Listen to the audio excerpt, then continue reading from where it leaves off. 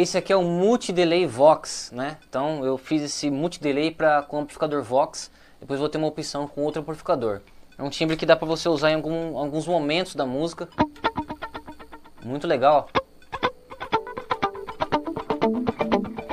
Aqui eu também tenho um pouquinho de, de mod stomp com ele. É, eu tenho aqui um acionamento de mais volume de delay e menos delay. Então aqui eu tenho ó, mais delay.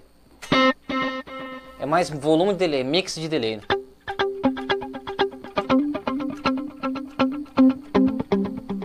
E também eu deixei um stomp aqui para dar uma, um ganho no overdrive. Então aqui eu tenho mais overdrive, ó. E menos overdrive.